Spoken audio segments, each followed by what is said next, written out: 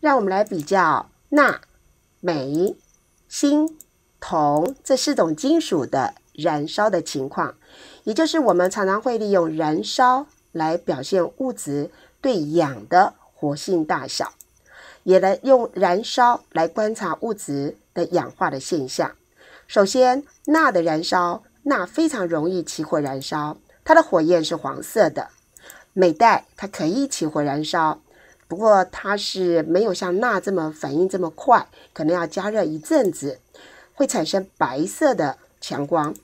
而锌呢，加热一阵子之后呢，它可以起火燃烧，离开火焰，表面的物质可能要挑开，内部才会继续有燃烧的现象。锌粉的燃烧火焰是黄绿色的。铜没有燃烧的现象，它没有火焰。这四种金属的燃烧产物呢？都是氧化物。